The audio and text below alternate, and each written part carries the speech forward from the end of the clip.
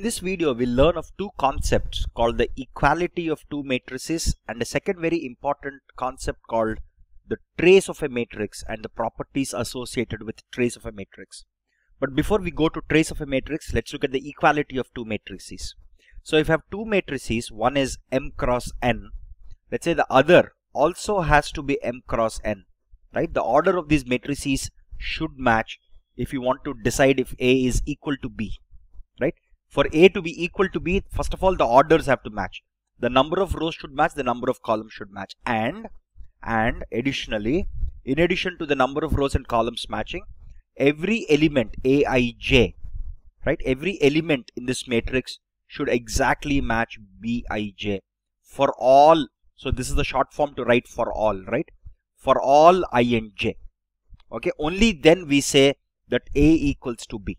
So A equals to B if the if the order of the matrices are same, if the orders are same, right, and each of the cells, each of the cells or each of the values in the matrix of A is same as as the as the as the as the similar. So Aij should be equal to Bij, right? The corresponding elements in matrix B also should be same as the eh, corresponding elements in matrix A. Okay, very simple concept. Okay, but I just wanted to cover it here for completeness. Now let's learn of a more interesting concept called as trace because equality is a simple concept. So if you're given any matrix, right, if you're given any square matrix, right, if you're given any square matrix, the trace of the matrix, the trace of the matrix intuitively thinking is nothing but it is the sum of, it is the sum of the diagonal elements. It is the sum of all the diagonal elements of the matrix itself, right? So it's often written as TR of A.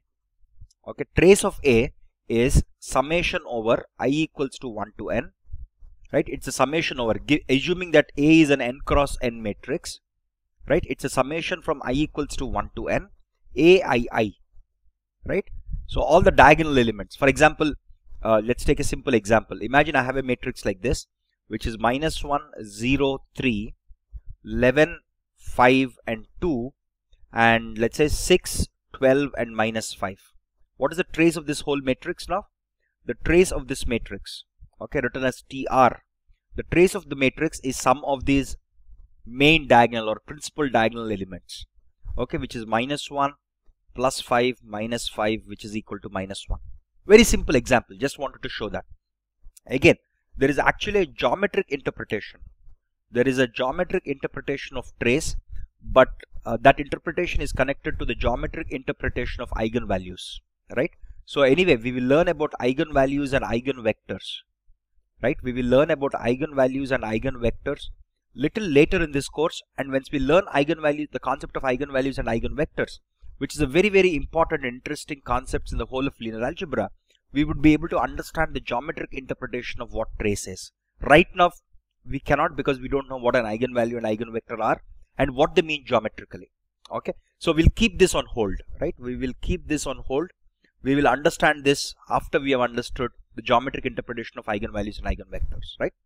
The next important thing is let's look at a few bunch of properties of trace. Again properties of trace are very simple to to absorb right? For example trace of a plus b okay is nothing but trace of a plus trace of b. Very simple right Imagine you have two matrices A and B. The sum of the diagonal elements of A plus B will be the sum of diagonal elements of A plus the sum of diagonal elements of B. Again, this is very trivial to prove numerically. Okay, this is trivial to prove even numerically, right? So, hence I'm not proving it here. It's it's it's almost commonsensical. Similarly, uh, we have trace of some constant multiplied by matrix A is equal to the constant multiplied by trace of A. That's because this constant will multiply each of the elements of matrix A, including the diagonal elements, right? That's why, that's why this, this equation also holds true, right? Some of these are very, very straightforward and simple. Now, here are some interesting stuff. Trace of B into A, right? Or, or let's put it this way. Instead of writing it as B into A, right, let's write it as trace of A into B. Okay.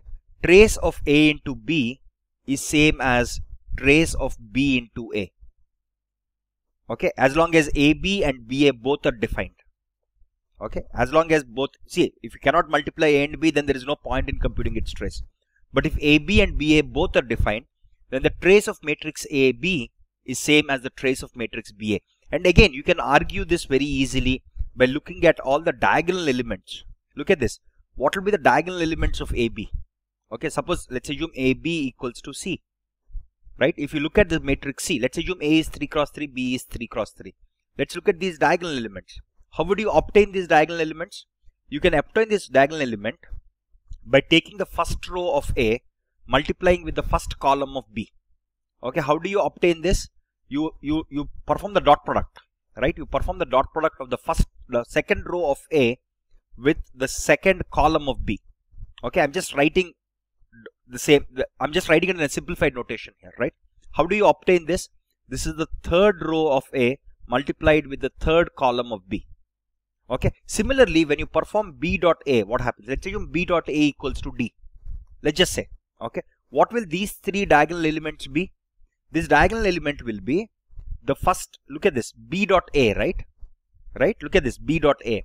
So when you're multiplying b with a right it's the first row of b and the first column of a right so on and so forth so you can actually prove very easily very logically you can prove the trace of A into B is trace of B into A and this proof is very straightforward even if you perform it numerically. You can actually take numerical examples where A is A11, A12, A13, right? A21, A22, A23, right? You can actually take this simple numerical example. You can actually take these as variables, take a 3 cross 3 matrix for A and B and you can actually verify it numerically. It's very, very straightforward. Okay. So this is the third property. Now let's, uh, there is also a third, there is also a related property related to this, which is trace of A transpose B. If you have two matrices A and B such that you can multiply A transpose B and let's assume all these are valid. Okay, all these are valid multiplications. Okay, if all these are valid multiplications, if all these are valid multiplications, you can prove very easily, again numerically you can prove because we don't yet have a geometric interpretation handy. So the easiest way to prove many of these especially the especially to trace because for the case of trace you only care about these three elements. The the principal diagonal elements that's all you care about. Hence even proving some of these things numerically is very straightforward.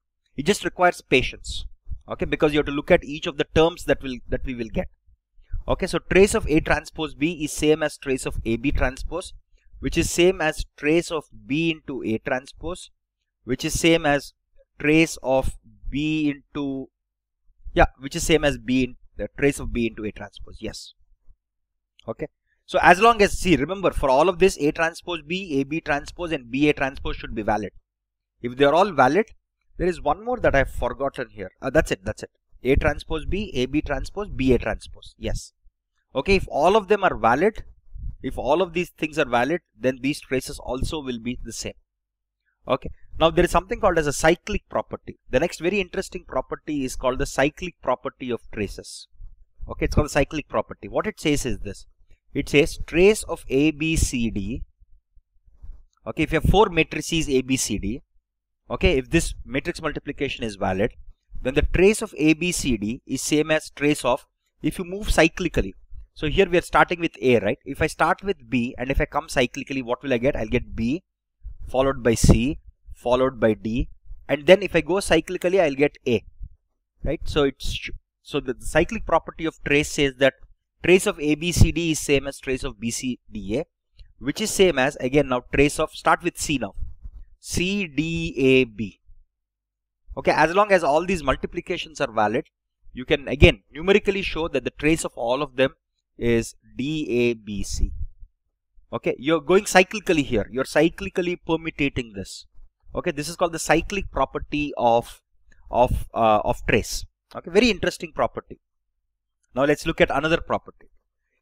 It says if a b and c okay this is one property. The other property is if a b c are symmetric matrices right? If a b c are symmetric matrices then then trace of a b c. Sorry trace of a b c. Then the trace of A, B, C is equal to trace of any combination. So here we don't have to just go cyclically. as long as this multiplication is valid this is equal to trace of CBA here I'm just changing the order in any way. So as long as CBA and ABC are valid the trace if I remember again that ABC are symmetric matrices here okay they are symmetric matrices. Then trace of ABC equals to trace of CBA which is equal to trace of ACB okay remember that we are not cyclically permitting this. We are permitting this whichever way we want. Okay this is a very very nice property again. Very very important property that lot of people make a mistake is trace of AB is not equal to trace of A into trace of B okay this is a very very common mistake that lot of beginner students make. This is not equal. That's why i'm calling it out. Okay this is this is a common mistake. This is a common mistake that people make. So trace of AB is not equal to trace A trace B. Again you can verify this numerically very very easily. Okay this is a very very I, I let me put a star mark here to state that this is a common mistake that lot of people make. Okay I want you to avoid making that mistake Similarly, let's take another interesting property, which is trace of, if you have three matrices, okay, P inverse PA, assuming that this is valid, this is a valid multiplication, the trace of P transpose AP can be written as trace of P inverse multiplied by AP. I can write it this way. Okay, I can write it this way, right? Now I can write it as see trace of A into B. Look at this we have seen right trace of AB is same as trace of BA. I can change this order from AB to BA and it will still work right. So I can write this if this is my A and this is B I can change the order right. Remember trace of AB is not equal to trace of A into trace of B but this is equal to trace of BA. Okay, so I'm using this property the trace of AB equals to trace of BA to write this as AP multiplied by P inverse. Okay, now if you notice P and P inverse, if I multiply P with P inverse, it becomes identity matrix, right? And anything multiplied with identity matrix is the matrix itself, right? So this is a very, very useful property. Trace of this multiplication, P inverse AP is same as trace of A. Again, using very simple principles here. The only principle that I used here is that trace of AB is equal to trace of BA. This is the only property that I've used and I've gotten this okay? Now there is another very interesting property which is if a is a symmetric matrix let's assume a is a symmetric matrix right? And b is a skew symmetric matrix. Okay? B is a skew symmetric matrix. We know the definitions of symmetric and skew symmetric right? We have discussed them multiple times. Then the trace of a into b is going to be equal to 0 this is another very useful property when you're solving problems or even even when you have to this property is very important as far as the product of a symmetric and a skew symmetric matrix are concerned right? So if a is symmetric and b is skew symmetric the trace of a into b is going to be equal to 0 okay? Unfortunately for the concept of trace i am not able to give you geometric interpretations. Most of these things because we have to understand the concepts of eigenvalues and eigenvectors for it but most of these statements most of these properties that i've listed here are very very easy to prove numerically. You can just take matrices like this and you can actually work it out. It requires patience okay it takes it takes time to prove it numerically. It requires patience and it takes time to prove it numerically. But nonetheless all of these statements that i've written here are fairly straightforward if you have patience and if you do it step by step carefully you can prove all of them. Okay? So so that's what that's what a trace is and we have also seen the equality of matrices. Now we'll see how all these concepts fit in in the next few videos